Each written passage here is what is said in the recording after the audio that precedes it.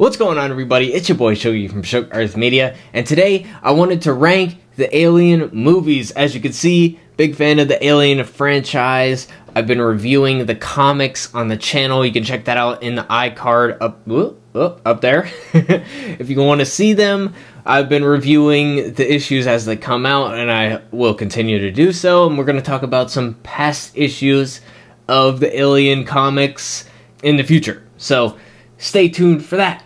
But I thought we'd talk about the movies here today. We'll go from worst to best of all the films. And overall, I like all of them, but my least favorite is Alien 3 to nobody's surprise.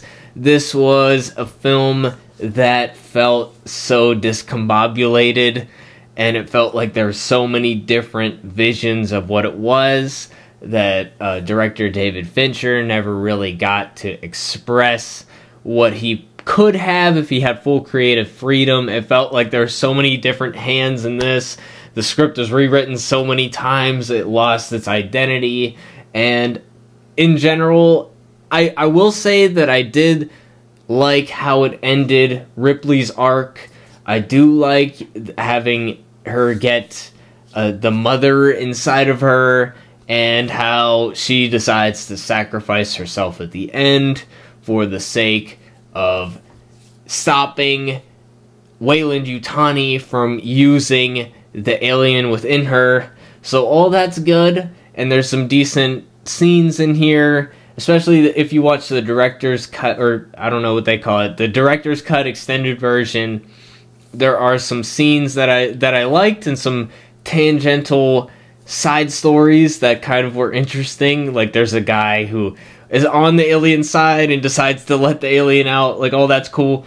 But there, a lot of the reasons why this didn't work is that it takes place in the prison, and we don't feel for any of the characters because they're murderers and rapists and terrible people. So when they die, we don't feel anything about it. We don't feel bad about it. So that just seemed like bad planning. Now, if they were like political prisoners or something like that that we could sympathize with, that would be one thing.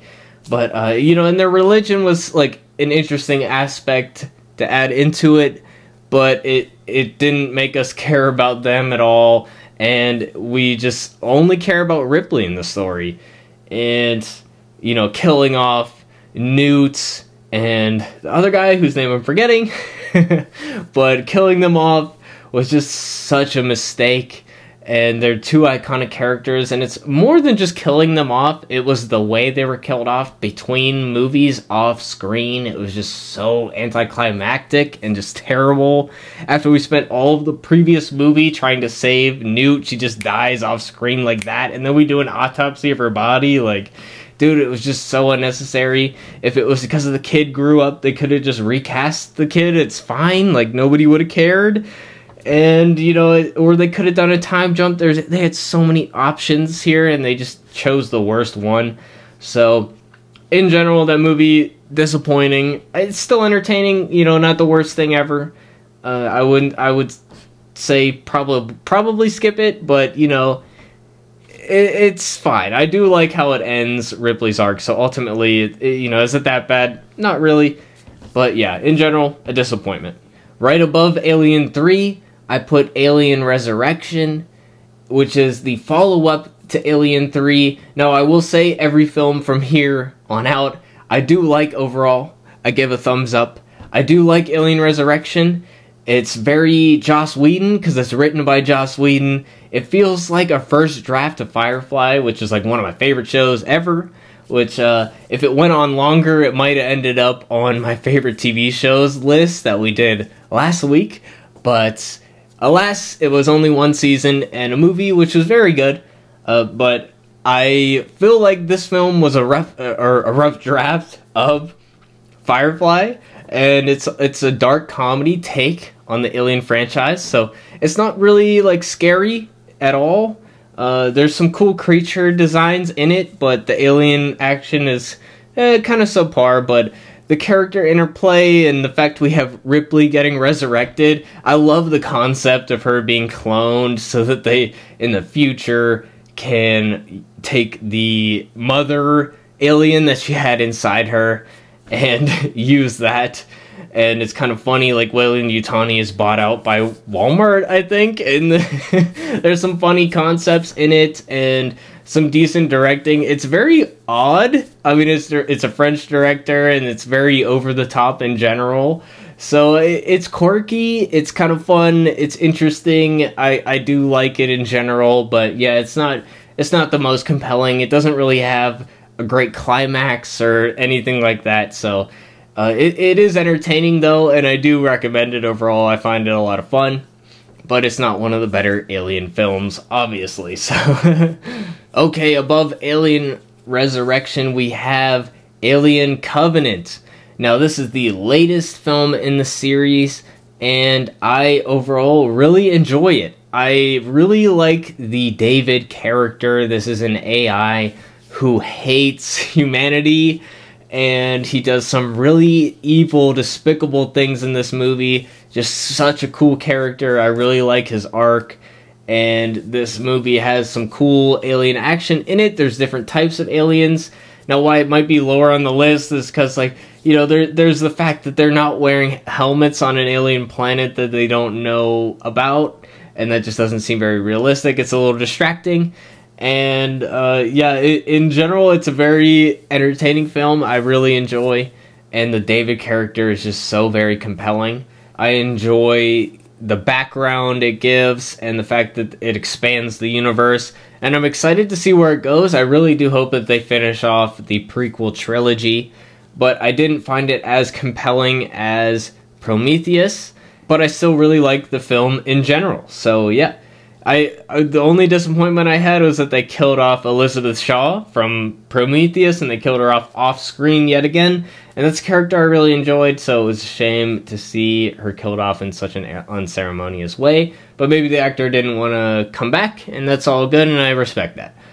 Okay, and right above Alien Covenant, we have Aliens, the second in the series. This is James Cameron's take on the franchise and I I think this is a fantastic action film. It is not a horror film to me.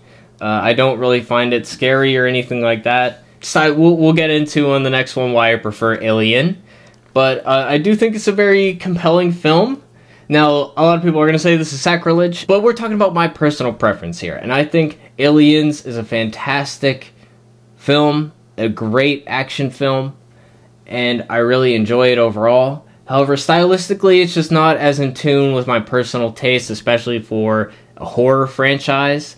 I think it's just like it's big, it has a lot of guns, and there's a lot of cool stuff in it, and it expands like the nests and stuff like that. It has a lot of cool elements to it. However, I don't care for the more theatrical dialogue. It's a lot less grounded and there's a lot less tension and sus- and suspense. There's not really that same creepy crawly feeling that I get from the rest. So, in terms of my personal preference, Aliens, fantastic film. I rewatch it a lot and I really enjoy it. But it, it to me, it's an action film, and I want the Alien franchise to be horror focused and more about the thematic core, which the themes of the franchise in general just really aren't touched upon too much. Uh, but it did introduce some really great characters. I like Newt.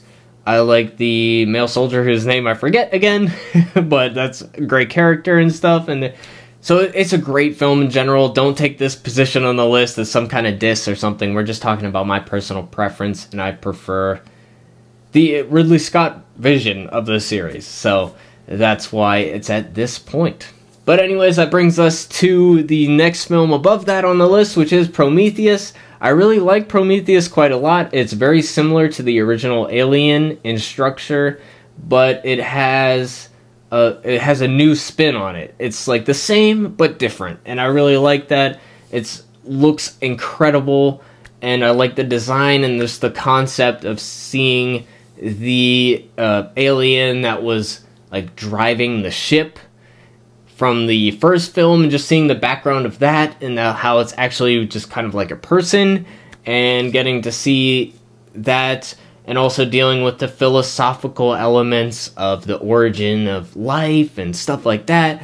I really enjoyed that. A lot of people don't like the esoteric kind of philosophical part and reject this film for that reason, but I really like that stuff. It's really juicy to me and I really enjoy that. And to top off our list, of course, we have the original Alien. This is just a film I don't know if they can ever top it. I mean, Ridley Scott is on record as saying the new Alien TV show, which I will be reviewing on this channel, they he said that they're never going to be able to top the first one, and I think he's probably right, honestly, because there's just so much great stuff, and this the the it has the most reason to exist.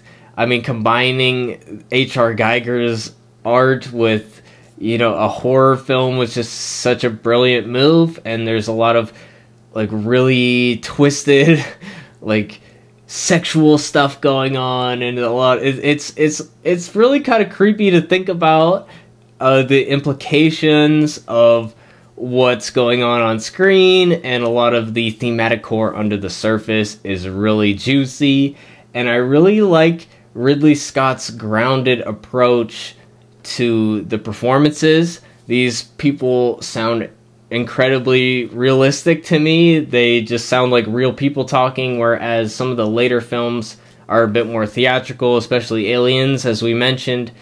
Uh, Aliens is like they each take their turn talking, whereas in Alien, they're talking over each other like how people do, and they just they, they just sound like real working class people.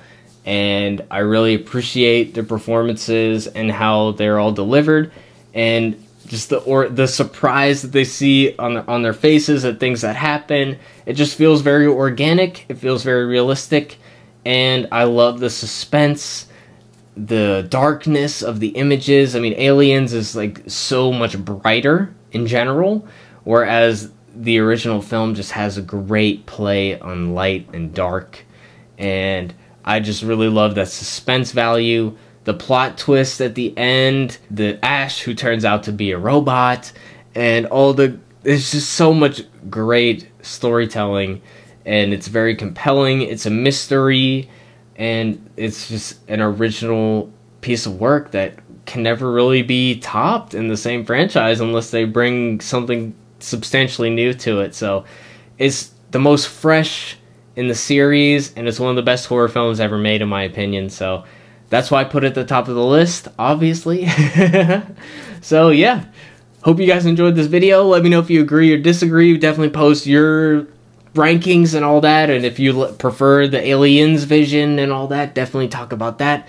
Because you know I love aliens as well. I love all these films except for you know Alien Three, pretty much. But uh, yeah, definitely leave your comments down below. I'd love to respond to it, and I hope to uh, see you in the next video. If you want to see more alien coverage, more discussions of movies, TV shows, video games, stuff like that, definitely keep it locked on Shook Earth Media. And this has been your boy Shuggy, and I hope to see you on the next video. Peace out, everybody.